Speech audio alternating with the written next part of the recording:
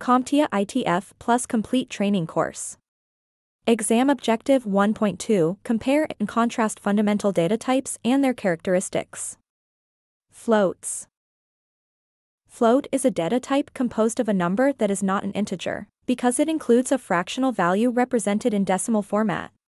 If you see a decimal point in the value and no quotation marks, there is a good chance it is a float.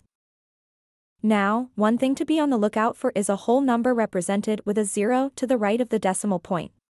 Do you see the last float example 22.0?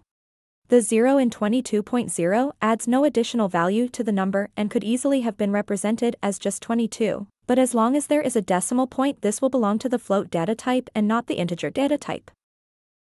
With the float data type, you can absolutely use mathematical operations. You can even mix float data types with integer data types. Just be careful of integer data types turning into float data types as a result of a mathematical operation. Let's use 5 halves as an example. The 5 is an integer and the 2 is an integer. Once the division operation takes place the quotient becomes 2.5. Now you have a float. Depending on the programming language, this could cause an error. So be mindful of this in the future.